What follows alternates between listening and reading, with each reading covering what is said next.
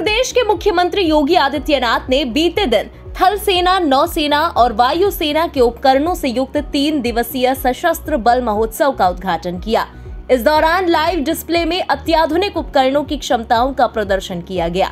विशेष बलों द्वारा para drop और कॉम्बैट प्रदर्शन, हेलीकॉप्टरों द्वारा सैनिकों को निकालना पैरा मोटर्स और microlight flying, horse and dog show और ऐसे कई अन्य सैन्य प्रदर्शन किए गए। वहीं सेनाओं के अद्भुत शौर्य और पराक्रम से भरे हैरत अंगेज कारनामे देखकर सीएम योगी भी काफ़ी हैरान और उत्साहित दिखे। सीएम योगी ने उद्घाटन समारोह को संबोधित करते हुए कहा कि थल सेना, वायु सेना और नौसेना के एकजुट प्रयासों का ही परिणाम है कि आज हमारे देश की सीमाएँ सुरक्षित हैं और आज हम हर चुनौती का सामना कर सकते हैं। हमें ये ध्यान रखना चाहिए कि हमारे सशस्त्र बल सिर्फ़ एक रक्षा संरचना नहीं है, बल्कि ये हमारे देश की सुरक्षा की एक मज़बूत नींव भी है।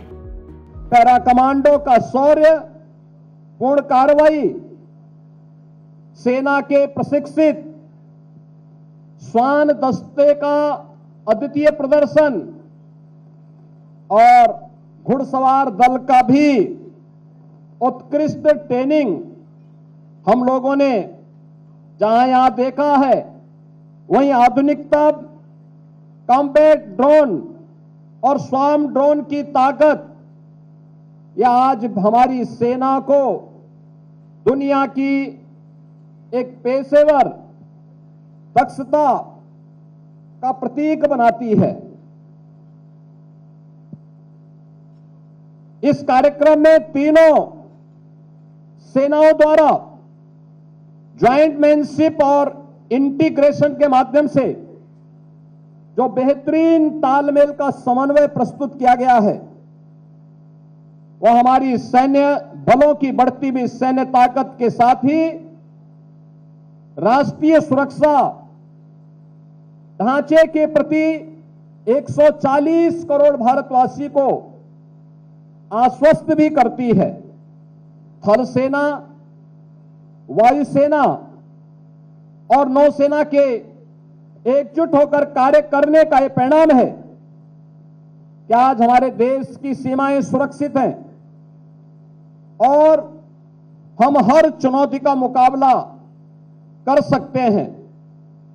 हमें याद रखना चाहिए कि हमारे सशस्त्र बल केवल एक रक्षा ढांचा मात्र नहीं, बल्कि यह हमारी राष्ट्र की सुरक्षा की एक मज़बूत नींव भी है। हमारे वीर जवान अपने जान की परवाह के बगैर देश की सेवा में तत्पर रहते हैं। वे इसीलिए राष्ट्र नायक के रूप में आम जनमानस के मन में सम्मान प्राप्त करते हैं। हमें गर्व है हमारे पास ऐसे सक्षम और समर्पित सेना है जो देश की सुरक्षा हर स्थिति में करने में सक्षम है। भारत के बहादुर सैनिकों की सजगता का ही परिणाम है कि आज विपरीत परिस्थितियों के बावजूद भारत पूरी मजबूती के साथ अपनी सीमाओं की सुरक्षा करने और बड़े से बड़े षड्यंत्र को विफल करने में सक्षम है। हमारे बहादुर जवानों का शौर्य और पराक्रम 140 करोड़ भारतवासियों को एक नई आश्वस्ति प्रदान करता है। यह हमारा सौभाग्य है कि देश की आबादी का यह सबसे बड़ा राज्य उत्तर प्रदेश 25 करोड़ की आबादी हमारे देश की इस राज्य में निवास करती है। और यह वीरों की भूमि है। बताते चले कि सशस्त्र सेना महोत्सव के दौरान नवीनतम आधुनिक तकनीक पर आधारित हथियार प्रणालियों को देखा जा सकता है। इसके साथ ही सशस्त्र सेना महोत्सव में विभिन्न हेलीकॉप्टर युद्धाभ्यास और विमानों द्वारा फ्लाई पास्ट भी देखने को मिलेगा। ये महोत्सव तीन से पाँच सितंबर तक सूर्या खेल परिसर एक लखनऊ में आयोजित किया जा रहा है। ब्यूरो रिपोर्ट, इंडिया पब्लिक खबर।